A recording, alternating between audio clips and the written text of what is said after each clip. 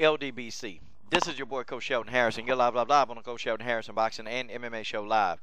Okay, this is a message to you, Joe Smith, and this is a message to anybody, to anybody that's sitting back, anybody that's sitting back and you wonder, you know, can things happen for you? Well, I'm gonna tell you something. This man right here on the screen, he believed. Okay, this man believed that things could happen for him. He believed that. You see, let me tell you something. Okay, Joe Smith Jr. Okay, you know Bernard Hopkins really insulted this guy called him a common man. That's what Bernard Hopkins called him, a common man. Well, well B Hop, a common man went in there and he beat the dog piss out of you.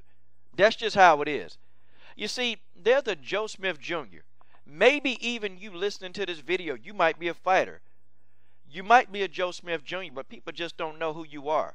You see, there's a Joe Smith Jr. in every gym. See, somebody, everybody can be beat. I don't care who you are. And there's a Joe Smith Jr. in in a gym right now who nobody knows about. Don't nobody know one thing about this person. But he's in the gym and he's working. He's working and working and working hard to be the best. And he got that heart. Joe no Joe Smith Jr. don't have a lot of skill set. But I did notice something about Joe Smith Jr. Joe Smith Jr. got heart. Okay? He got a lot of heart. And Joe Smith Jr. has the I don't give a damn attitude. Okay? He don't. He got that I don't give a damn attitude.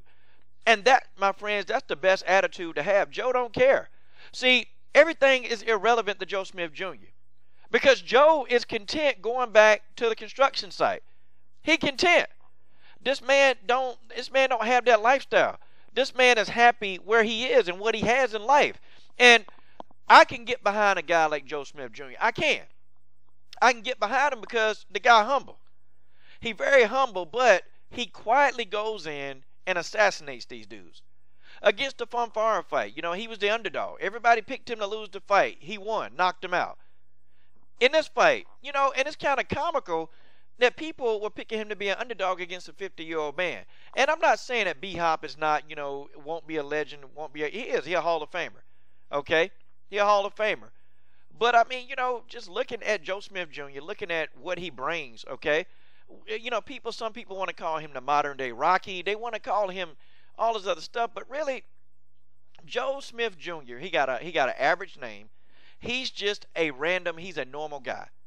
This is the kind of guy you can hang out with. You know, you go somewhere. You know, you have a couple of drinks. You have the coach drink, but the coach don't drink.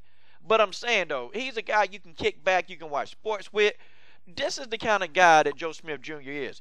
And I hope that Joe Smith Jr. stays a man of the people. I hope that's what because people are, are, attached to him. Like I'm actually liking the personality, liking the fighter that he's going to become.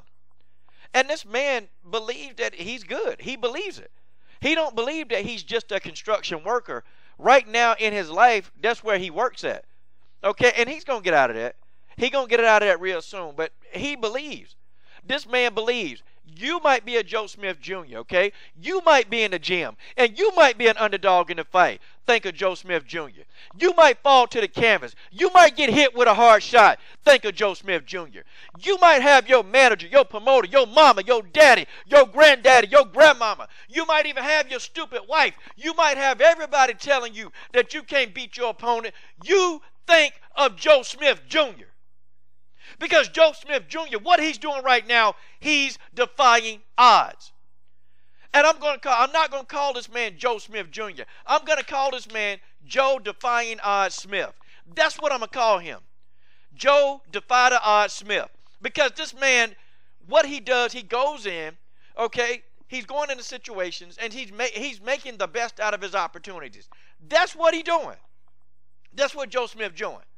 He's making the best out of his opportunities that he's that he's provided. This man ain't complaining.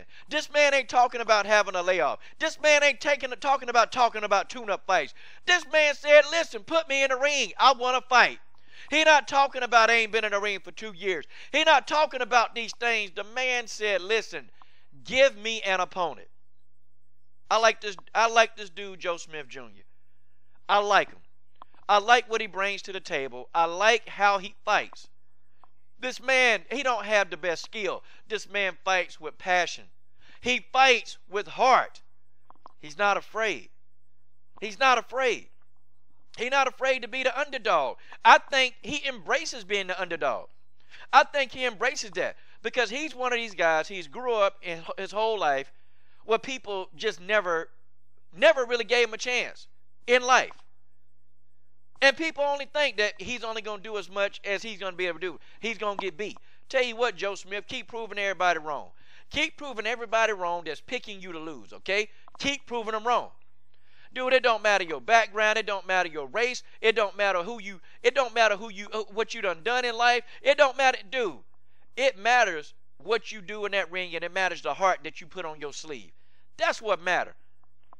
I like it, man. This dude ain't smelling himself. This dude ain't running. I like Joe Smith Jr. I like him as a fighter, and I hope that he can develop. I hope that he gets with, you know, maybe a good, maybe his trainer is a good trainer. If you got a good trainer, I hope that Joe Smith Jr. don't kick his trainer to the curb. I hope that he does not do that. Okay, I hope he keeps his trainer. I hope he develops his skill set. I hope that this man becomes a complete fighter. Okay, Joe Smith Jr. Coach Shelton Harrison is pulling for you, and that's just the way that is. I'm done. Subscribe.